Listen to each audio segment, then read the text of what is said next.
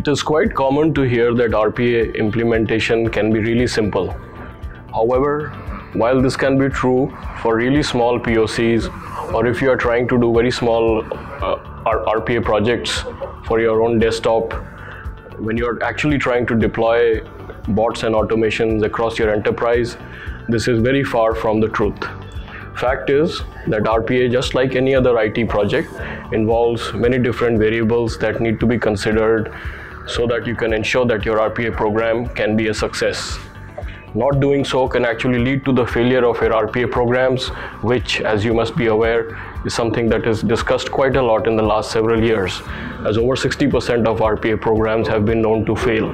It is only because RPA programs do not consider the aspect which comes around implementation to ensure that your program actually succeeds on the ground, which is why you must consider how do you go about actually implementing your RPA solution. Do you treat it as a very simple project or do you make sure that you apply the right kind of discipline, the right kinds of resources? As with other IT projects, you must still consider the scope of your project for your RPA program. You must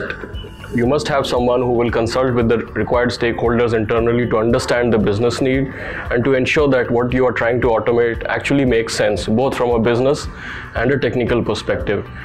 One of the aspects that tends to be ignored is actually ensuring that your systems can be automated using RPA. Technical feasibility is an important part of RPA, and having someone who has been there, done that for this aspect actually ensures the success of your RPA program. It's going to lay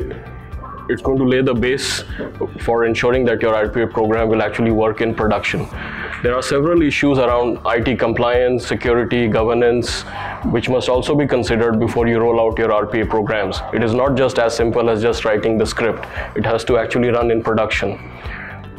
And once your bots have been readied by your IT team and your vendor, you must ensure that those who are going to actually use the bot within your company from the business, that they can also sign off that the bots are actually doing what they were intended to be doing, and it makes business sense when it is finally rolled out into production.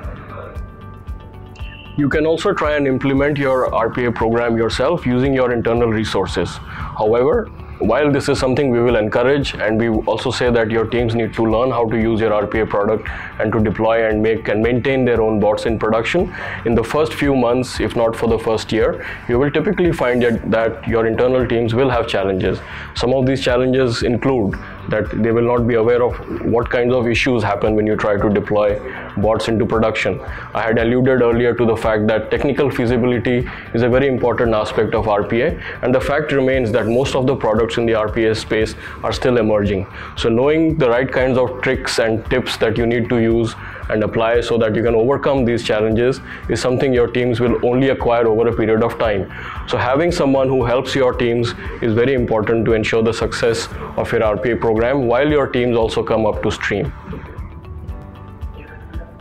So you can either do your RPA program implementation yourself or you can get a vendor to do it for you or what we usually recommend to our customers and what we have found is that